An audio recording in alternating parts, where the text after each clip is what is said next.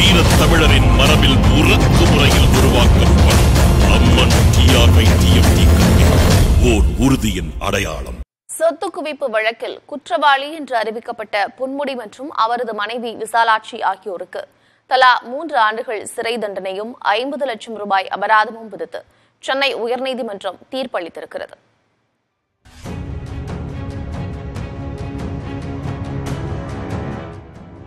நீதிபதி ஜெயச்சந்திரன் முன்பு வழக்கு விசாரணைக்கு வந்தபோது பொன்முடி மற்றும் அவர் மனைவி விசாலாட்சி ஆகியோர் ஆஜராகினர்.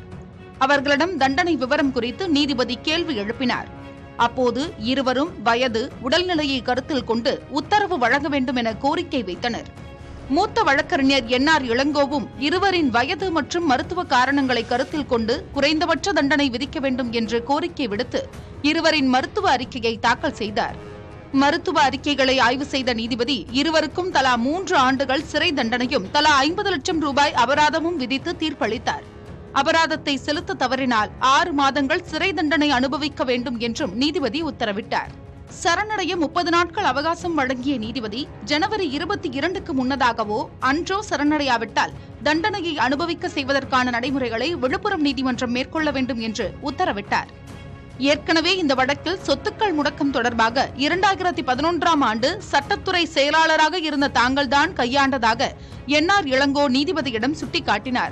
விசாரணைக்கு எடுத்துக்கொள்ளும் முன்பு நடந்த நிகழ்வு அது என்று நீதிபதி அதற்கு பதிலளித்தார். பொன்முடியின் மனைவி விசாலாட்சி வயது மற்றும் மருத்துவ காரணங்களை சுட்டிக்காட்டி குறைந்த தண்டனை விதிக்க வேண்டும் என்று கைகூப்பி கோரிக்கை விடுத்தார்.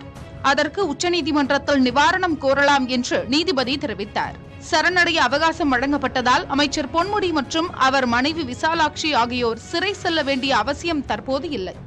இருப்பினும் தீர்ப்பு காரணமாக பொன்முடி எம்எல்ஏவாக பதவி வகிக்கும் தகுதியை இழந்துள்ளார். இரண்டாயிரத்தி ஆறு இரண்டாயிரத்தி பதினொன்றாம் ஆண்டுகளில் உயர்கல்வித்துறை அமைச்சராக பதவி வகித்தபோது வருமானத்திற்கு அதிகமாக ஒரு கோடியே எழுபத்தைந்து லட்சம் ரூபாய் அளவுக்கு சொத்து சேர்த்ததாக பொன்முடி மற்றும் அவருடைய மனைவி விசாலாட்சி ஆகியோருக்கு எதிராக இரண்டாயிரத்தி பதினொன்றாம் ஆண்டு லஞ்ச ஒழிப்புத்துறை வழக்கு பதிவு செய்தது.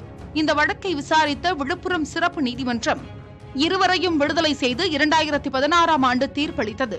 தீர்ப்பை எதிர்த்து லஞ்ச ஒழிப்புத்துறை தரப்பில் இரண்டாயிரத்தி பதினேழாம் ஆண்டு தாக்கல் செய்யப்பட்ட மேல்முறையீட்டு வழக்கை விசாரித்த சென்னை உயர்நீதிமன்ற நீதிபதி ஜெயச்சந்திரன் இருவரையும் விடுதலை செய்து சிறப்பு நீதிமன்றம் பிறப்பித்த தீர்ப்பை ரத்து செய்து டிசம்பர் பத்தொன்பதாம் தேதி தீர்ப்பளித்தார்.